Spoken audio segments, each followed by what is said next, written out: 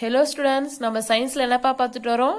First lesson organ system நம்ம இது வரைக்கும் எத்தனை சிஸ்டம் பார்த்துருக்கோம்? த்ரீ சிஸ்டம் என்னென்ன? ஃபர்ஸ்ட் கிளாஸ்ல டைஜஸ்டிவ் சிஸ்டம்னா என்னன்னு பார்த்தோம். செரிமான மண்டலம். அதாவது நம்ம சாப்பிட்ற ஃபுட் எல்லாம் எப்படி வந்து டைஜஸ்ட் ஆகுது செரிமானம் ஆகுது அப்படிங்கறத இந்த சிஸ்டம்ல பார்த்தோம். நெக்ஸ்ட் ரெஸ்பிரேட்டரி சிஸ்டம் சுவாச மண்டலம். இதுல நம்ம எப்படி சுவாசிக்கிறோம் அப்படிங்கறத பார்த்தோம். ஃபைனலாக லாஸ்ட் கிளாஸில் சர்க்குலேட்டரி சிஸ்டம் ரத்த ஓட்ட மண்டலம் பார்த்தோம். இதில் பிளட் வந்து நம்ம ஒவ்வொரு பார்ட்டுக்கும் தேவையான ஆக்சிஜன் நியூட்ரிஷன்ஸை எப்படி வந்து கொண்டு போய் சேர்க்குது அப்படிங்கிறத பார்த்தோம். எல்லாருக்கும் இது வரைக்கும் ஞாபகம் இருக்காப்பா இன்னைக்கு நம்ம எக்ஸ்கிரேட்டரி சிஸ்டம் பற்றி பார்க்க போகிறோம் எக்ஸ்கிரேட்டரி சிஸ்டம்னா தமிழில் கழிவு நீக்க மண்டலம்.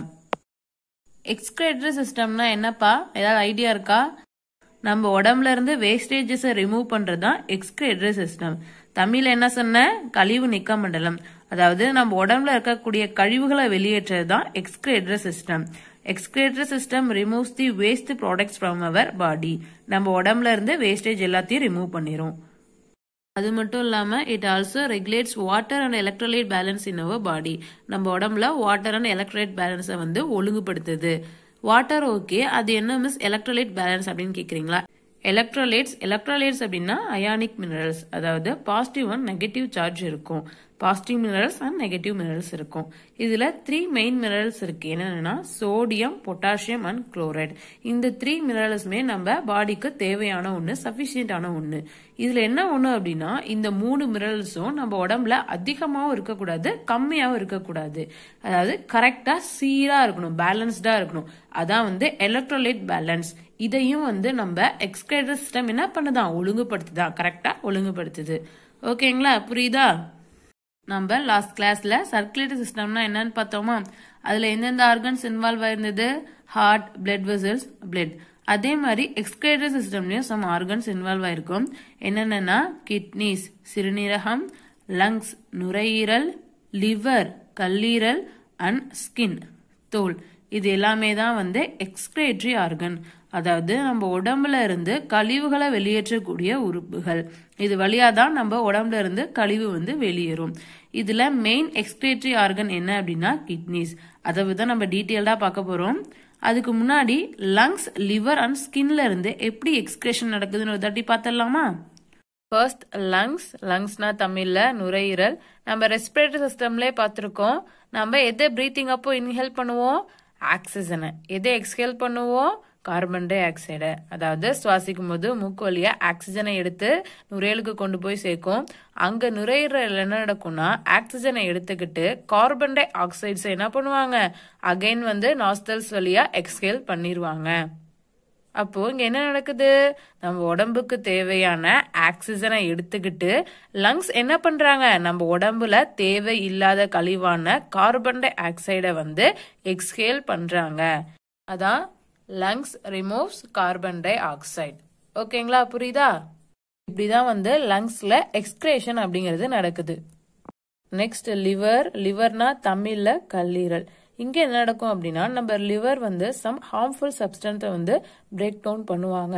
அப்போ அதோட பை ப்ராடக்ட்ஸாக சம் டாக்ஸின்ஸ் உருவாகும். எக்ஸாம்பிள் பார்த்தாங்கன்னா அமோனியா இந்த மாதிரி டாக்ஸின்ஸ் வந்து ப்ரொடியூஸ் ஆகும். இதை வந்து நம்மளுடைய லிவர் வந்து ரிமூவ் பண்ணுவாங்க. அதான் லிவர் ரிமூவ்ஸ் அமோனியா அப்போ லிவர்ல வந்து இப்படி எக்ஸ்கிரேஷன் நடக்குது. ஓகேங்களா நெக்ஸ்ட் ஸ்கின் தோல். ஸ்கின்ல எப்படி எக்ஸ்கிரேஷன் நடக்கும்னு நினைக்கிறீங்க? நம்ம எல்லாருக்கும் வேர்க்கும் இல்லப்பா? ஸ்வெட்டிங் ஆகும். இதுதான் எக்ஸ்கிரேஷன் அதாவது ஸ்கின் வந்து ஸ்வெட்டிங் மூலியமா நம்ம உடம்புல இருக்கக்கூடிய தேவையில்லாத வேஸ்டேஜஸ் வந்து ரிமூவ் பண்ணும். நம்ம வேர்க்கிறது மூலியமா நம்ம உடம்புல இருக்கக்கூடிய கழிவுகளை வந்து வெளியேற்றும். அந்த வேர்வையில் என்ன இருக்கும் பாத்தீங்கன்னா வாட்டர் இருக்கும் அடுத்து சால்ட் உப்பு இருக்கும் அடுத்து small amount of urea urea வந்து கொஞ்சம் இருக்கும். அதான் skin removes water salt small amount of urea ஓகேவா ஸ்கின்ல எப்படிதான் எக்ஸ்பிரேஷன் நடக்குது. ஃபைனலா கிட்னிஸ் சிறுநீரகங்கள். என்ன சொல்லியிருக்கேன்? எக்ஸ்கிரேட்டிவ் ஆர்கன்லேயே மெயின் ஆர்கன் கிட்னி இங்க எப்படி எக்ஸ்கிரேஷன் நடக்கும் அப்படின்னா நம்ம உடம்புல இருக்கக்கூடிய வேஸ்டேஜ் எல்லாமே யூரின் வழியா ரிமூவ் பண்ணிடுவாங்க. என்னென்ன வேஸ்டேஜ் இருக்கும் அப்படின்னா யூரியா யூரிக் அசிட் இன்னும் அதர் வேஸ்டேஜஸ் இருக்கும். இது எல்லாமே யூரின் வழியா வெளில அனுப்பிடுவாங்க. இதான் வந்து கிட்னியோட டியூட்டி இதை பத்தி நம்ம டீட்டெயில்டா படிப்போம். Kidney removes urea uric acid through urine ஓகேங்களா இதுல நம்ம கிட்னிஸை பத்தி தான் டீட்டெயில்டா படிக்க போறோம். அதாவது கிட்னி எங்க இருக்கு அதோட ஷேப் அது எப்படி ஃபங்க்ஷன் ஆகுது அப்படிங்கறது தான் வந்து நம்ம எக்ஸ்கிரேட்டர் சிஸ்டம்ல பார்க்க போறோம்.